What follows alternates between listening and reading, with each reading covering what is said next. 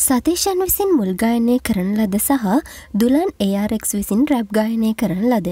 පසෝ යොහනිද සිල්වා විසින් කව කරන ලද මැනිකේ මගේ හිතේ ගීතය මේ විද්දි ඉන්දියාව විතරක් නෙමෙයි ඇමරිකාව ඉතාලිය වගේ ලෝකෙ ප්‍රබල රටවල් වල පවා අතිශයෙන් ජනප්‍රිය වෙලා තියෙනවා.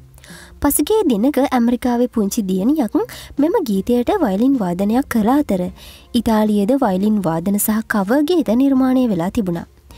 ඉතිං අපිට දැනගන්න ලැබුණ අලුත්ම පුවත තමයි ලෝකයේ උසම කුළුණ වන ඩුබයිහි බර්ජ් කලිෆා කුළුනෙත් මැනිකේ මගේ හිතේ ගීතේ මියසික් එක ප්ලේ වෙලා තියෙනවා. එම වාදනයට අනුව ජලමල් සහ ආලෝක රටාව වලින්ද එම ප්‍රදේශය ආකර්ශණීය ලෙස ආලෝකමත් වී තිබෙනවා.